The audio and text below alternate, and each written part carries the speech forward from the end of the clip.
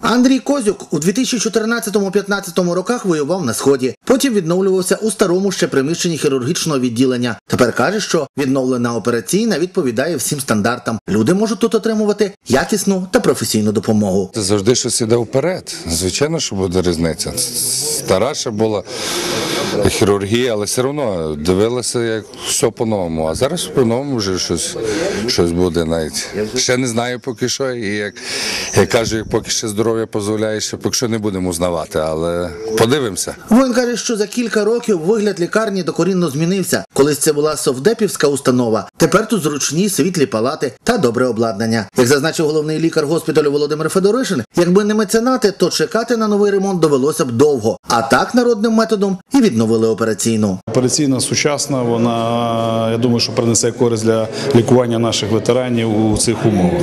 Багато є обладнання там поставлено, і в зв'язку з відсутністю коштів, бо не всі питають, чому ця операційна з цієї сторони, тому що були розпочаті ремонтні роботи на початку року.